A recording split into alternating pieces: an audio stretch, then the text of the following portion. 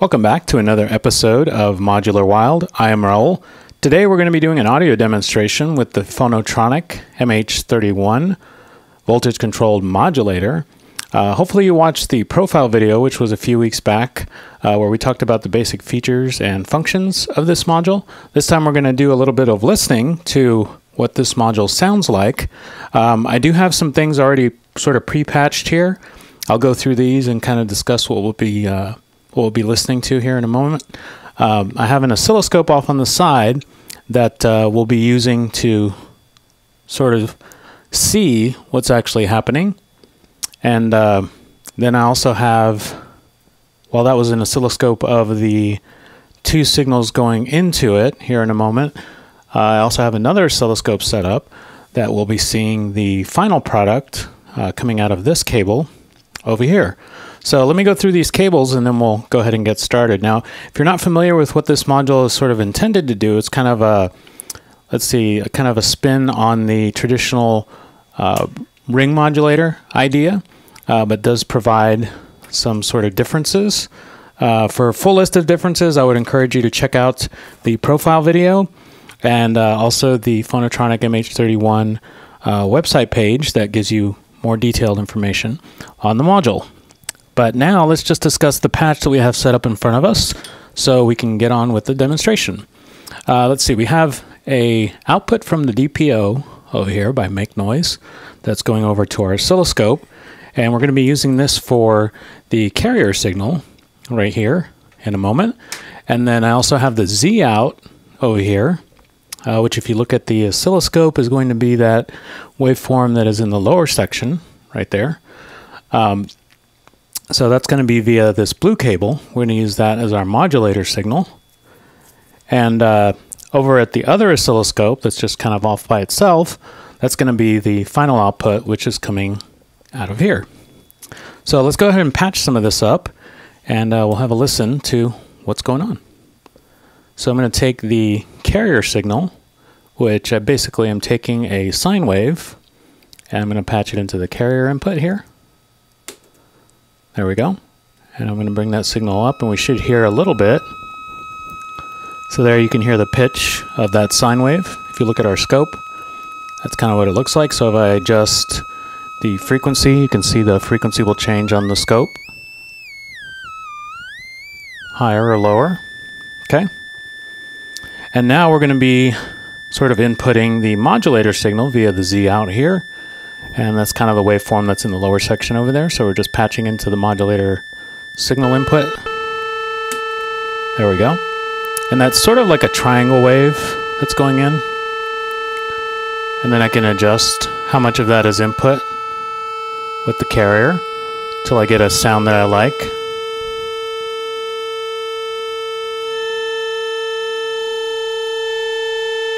And for those of you who like ring modulator sounds, uh, you'll know that it can help you produce a lot of inharmonic tones, kind of bell-like tones, nice side bands, that kind of thing, depending on what you're looking for.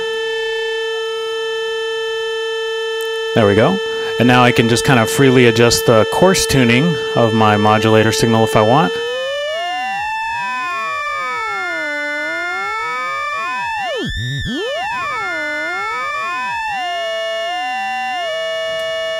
Kind of like that.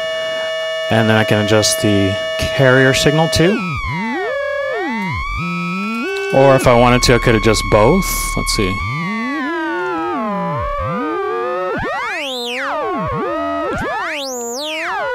For varied effects.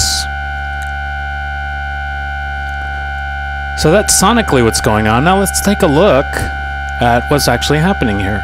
So I'm going to adjust the coarse tune of our modulation signal. And you can see our waveform over there at the second scope on our final output.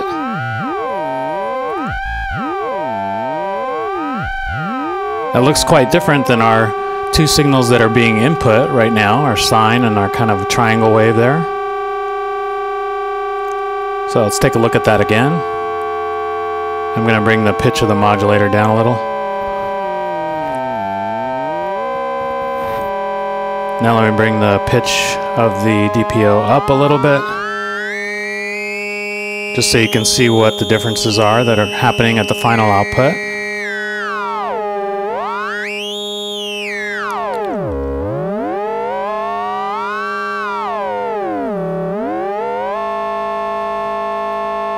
Okay.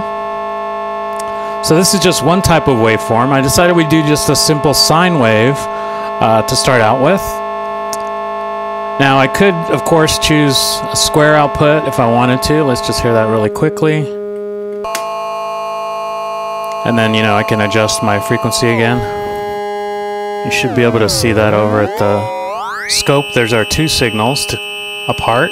And then over at our final output, there is the final output of the two being processed.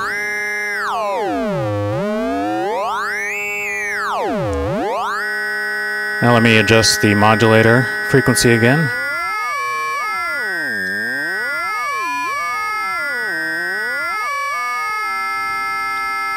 Okay. So there you go, just a little basic demonstration. And now you can also sort of patch in a third signal as it says in the manual. Uh, so let's do that. Let's take a third uh, audio rate signal. Let's take a saw from the first half of the make noise DPO. So I'll take a saw from over here and I'll just patch it into the CV in right here.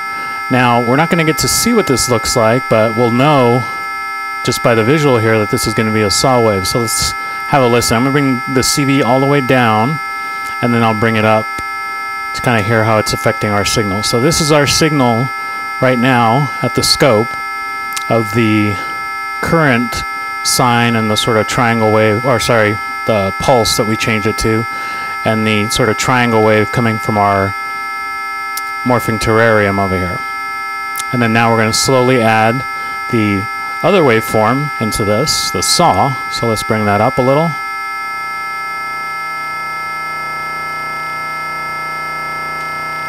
Kind of like that. And let's take a look at the final output and see what's happening over there. As we can see, quite a different waveform now. And now I can make adjustments over at my DPO if I want to. And as we expect, they are having an effect on the final output.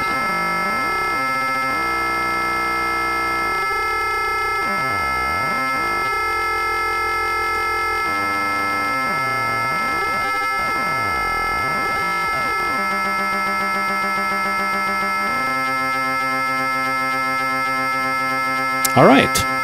So that's just kind of a basic idea. You can use this to process uh, low frequency signals as well. Uh, for this demonstration, we're just sticking with audio signals for now, uh, and mainly like a synth or oscillator tone here, uh, just to kind of spice it up a little bit so you can kind of hear what it would sound like in context. I have some CV notes right here, and I'm just going to patch them in so we can kind of hear what this will sound like if you were playing them pitched.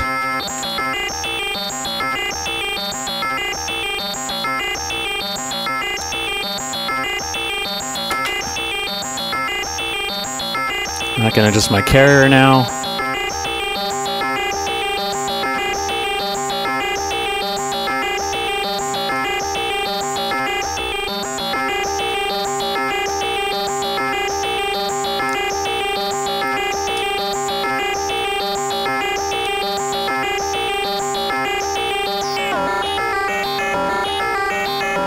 So some nice clangorous sounds. And as this module is described in the manual, it is a very good uh, noisemaker uh, module that you can create a lot of harsh, uh, sort of very distinct and gritty types of sounds.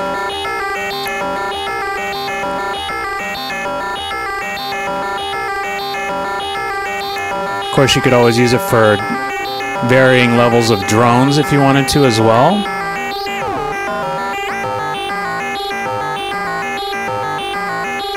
Now this whole time we've been using a triangle wave as our modulator signal here, uh, but let me see if I can switch it up. That's by adjusting the morph Z here. So let me just adjust it a little bit. And there you can see at our scope that shows the two individual signals. We have quite a different signal now that's being used as a modulating signal.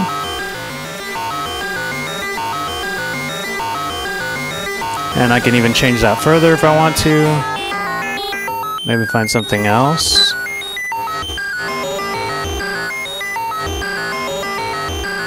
There we go. That's sort of another kind of a pulse shape. But some very nice, pretty, clangorous sounds coming out of our MH31. So that's going to do it for this specific demonstration. Let me unpunch our final output. Uh, hopefully you got some use out of this and got at least to hear sort of a basic demonstration as to what this uh, module can do. Um, in the next demonstration, I think we might do some drum processing and then maybe a few other things uh, that the voltage control modulator by Fonitronik can actually do. Um, if you have some sort of questions about maybe some of these other modules that we were using, um, I have I personally have not done one on the DPO, uh, but I know Make Noise has a very informative website and has quite a few demonstrations of this uh, this very complex and great sounding uh, oscillator here. Um, the Morphing Terrarium, I do have sort of a collection on my Modular Wild channel. So if you're more curious about uh, the types of sound that this produces or what actually is involved in this little guy right here, uh, I do encourage you to watch that as well. Uh, but that's going to do it for me this time around. So stay tuned and check out the next video.